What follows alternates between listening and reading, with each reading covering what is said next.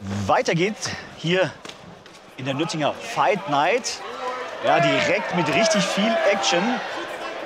Max Heberle mit den blauen Handschuhen gegen Pavel Stronski mit den roten Handschuhen aus der roten Ecke kämpfend. Hier auch äh, gut zu erkennen mit den roten Streifen seiner Hose. Max Heberle mit dem Deutschlandadler auf seiner Hose. Gewichtsklasse bis 85 Kilo, beide ziemlich identisch auf der Waage gewesen. 85 Kilo haben es beide mit äh, 84,8 und 84,9 gut getroffen. Reichweitenvorteile auch nur minimal für Max Heberle mit 1,87 Meter. Pavel Stronski mit 1,83 Meter, also minimal. Vom Alter her, ja, Max Heberle ein bisschen älter, ein bisschen erfahrener mit 28 Jahren und äh, Pavel 22. Von der Kampfbilanz auch relativ ausgeglichen. Es ist der zweite Kampf für Pavel Stronski und der dritte Kampf für Max Heberle. Beide konnten ihre Kämpfe bisher gewinnen. Und dann schauen wir mal, wie das heute Abend hier in Nürtingen ausgehen wird.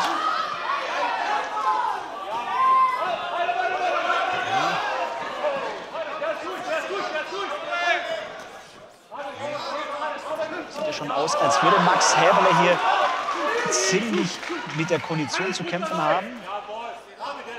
Ist auch ein Wirkungstreffer gegeben. Also habe ich jetzt nicht wirklich gesehen, aber ich hatte kurz den Eindruck. Ja, er ist auch gefährlich, wie er zu sehr mit dem Kopf nach unten geht, Max Heberle. Ja, und auch seine Hände nicht mehr oben hat, jetzt schon in Runde 1. Das ist gefährlich. Und wenn er da jetzt nicht aufpasst, dann dann wird der Kampf hier nicht bis zum Ende durchgeführt werden. Da ist ja, weggerutscht, kein Wirkungstreffer von Pavel. Ja, also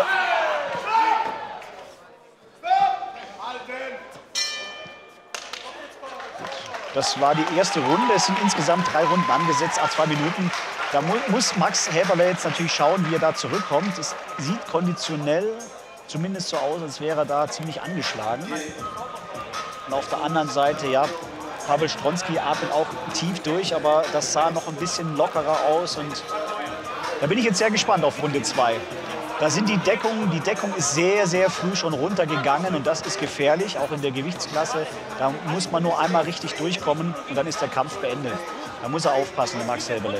Ich hoffe, sein Trainer gibt ihm das jetzt auch weiter. Das wird er auch so machen.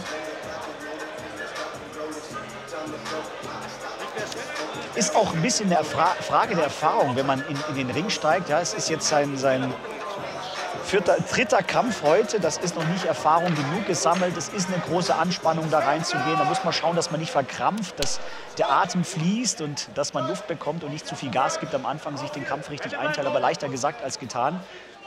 Das wissen die Jungs, das wissen sie beide, aber das dann auch umgesetzt zu bekommen, ist dann immer die andere Seite der Medaille. So, wir gehen in Runde zwei.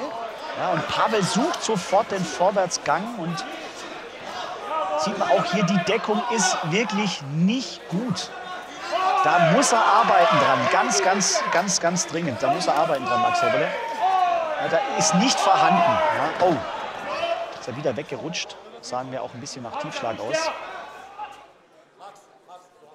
Ja, das geht direkt weiter. Ja, beide nicht so sonderlich gut mit ihrer Deckung. Ich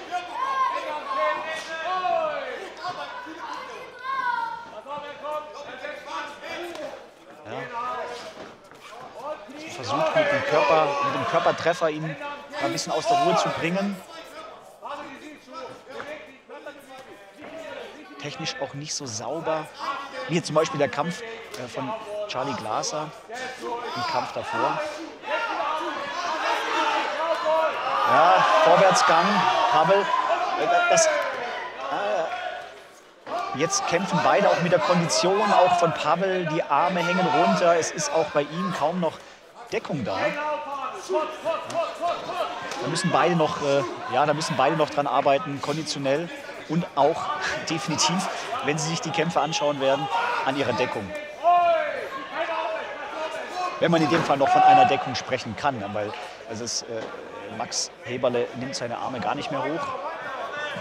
Aber auch Pavel atmet sehr, sehr tief. Das werden, werden noch mal lange Sekunden jetzt am Ende. Und dann kommt ja auch noch die dritte Runde. So stehend. Beide jetzt schon stehen, K.O. fast. Jetzt mal gucken, wer die Initiative noch mal ergreift und versucht hier. Das muss man aber jetzt auch wirklich Max lassen. Er hat den Willen, er hat den Ehrgeiz und versucht jetzt auch noch mal nach vorne zu marschieren.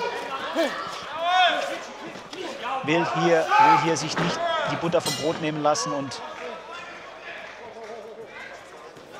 hier noch mal einen Fußfeger angesetzt. Ja, schwer zu bewerten, schwer zu bewerten. Technisch gibt es auf jeden Fall Verbesserungspotenzial. Jetzt bin ich gespannt. Äh, zwei Minuten. Holst du die zwei Minuten? Holst du die zwei Minuten? Wenn du keinen Bock hast, dann gehen wir. Das wird eine lange, lange, harte Runde für beide Kämpfer. Das ist schon wirklich nicht ohne. Man äh, kann das schnell unterschätzen, was zwei Minuten bedeuten können. Und in der dritten Runde ja dann die Anspannung jetzt noch hat und keiner von beiden Kämpfern hat sich da jetzt einen großen Vorsprung erarbeitet. Ich denke, das wissen auch beide Trainer. Das ist jetzt auch die Ansage, Jungs, wenn ihr den Kampf gewinnen wollt, ja, dann gib jetzt Gas, dann hol jetzt alles raus, sonst ist der Kampf verloren. Also das sagen sie nicht mit verloren, man will ja motiviert bleiben, aber die, die Richtung ist klar. Ja. Beide müssen jetzt versuchen, hier eine Entscheidung herbeizuführen. Pavel auch jetzt nochmal Vollgas, man muss mal gucken, ob sich das dann ob sich das dann nicht noch negativ bemerkbar macht. Er muss die, zwei, die dritte Runde komplett durchspielen. Wenn man am Anfang schon so die Körner raushaut, ich, wir werden sehen, ja, wir werden sehen. Er kommt auch, äh, äh, was, was Max Häberle richtig gut macht. Ne? Er geht immer wieder auf, den, auf, den, auf, den, auf, die Beine, versucht hier einen Feger anzusetzen und kommt damit auch immer wieder durch. Ja? Er, er nimmt ihn immer wieder aus dem Rennen, schiebt ihn zu Boden, schickt ihn zu Boden, auch wenn es keine klaren Treffer sind. Aber das bringt Pavel natürlich aus dem Konzept.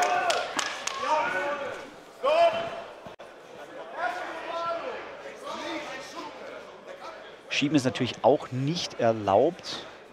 Also da müssen die Jungs noch ein bisschen an ihrer Technik arbeiten, aber das kommt alles mit der Erfahrung, das kommt mit den Sparringkämpfen, das kommt mit den Kämpfen.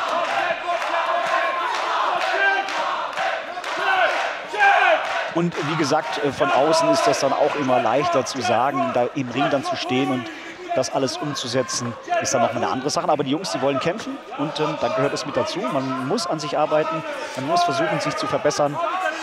Den Willen, den haben sie beide, den Ehrgeiz haben sie beide.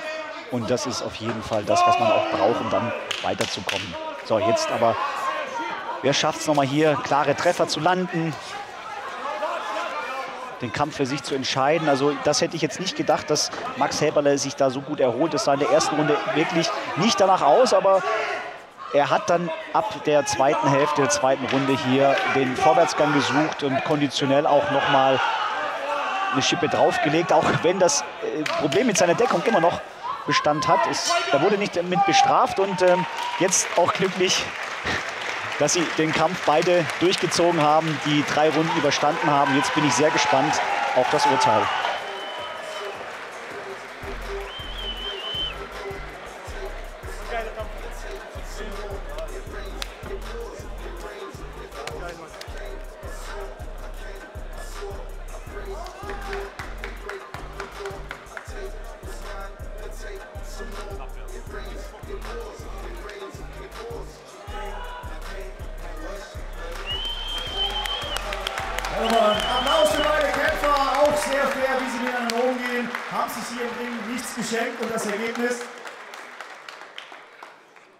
Kämpfer in den Ring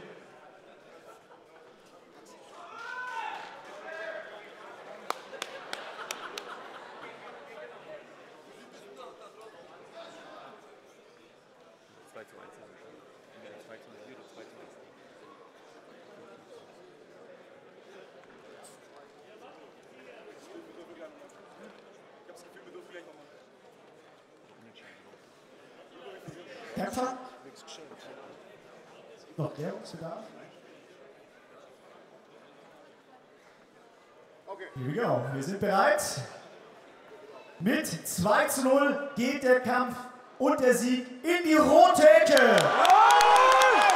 Und somit an Pavel Stronski.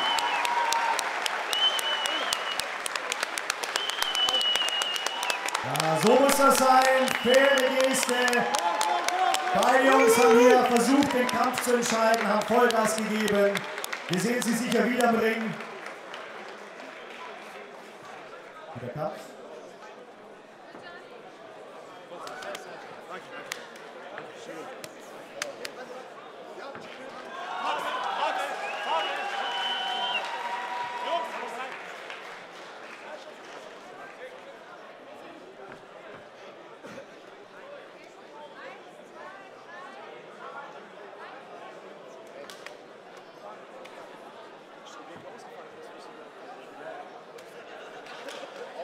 War, glaube ich, ein guter Kampf für die Leute. Für die Zuschauer war es schön. Weiter geht's.